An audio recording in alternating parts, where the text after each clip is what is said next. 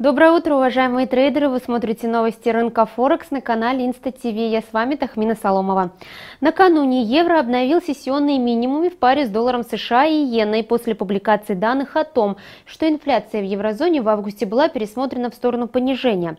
Кроме того, опасений добавили новости о том, что Европейский Центробанк может расширить и продлить программу стимулирования.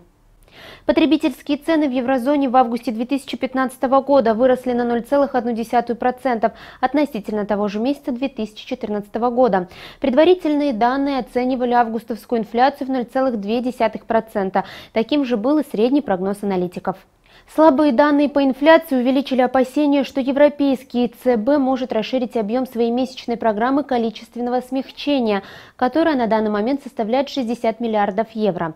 Отметим, что ранее в сентябре регулятор понизил свой прогноз по инфляции на последнем заседании, ссылаясь на давление сильного евро и слабость цен на нефть. На сегодняшний день ЕЦБ предполагает, что годовая инфляция в этом году составит 0,1% против ранее прогнозируемых 0,3%. Снижение европейской валюты начала как раз после того, как Евростат сообщил, что окончательное значение годового уровня инфляции евро было пересмотрено с первоначальной оценки. В ходе торгов среды пара евро-доллар достигала минимальной отметки 1.1231 доллара после 1.1255 во вторник. Однако позже вернула утраченные позиции, поднявшись до 1.1307.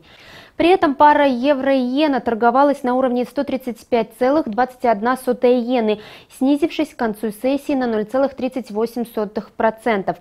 В среду также стало известно, что Витер Констанцио, вице-президент ЕЦБ, заявил о том, что у банка есть все возможности для наращивания объема покупок активов, поскольку текущий размер процентной ставки является малым относительно подобных схем других мировых ЦБ. Вы смотрели новости на канале Инста ТВ. Оставайтесь с нами.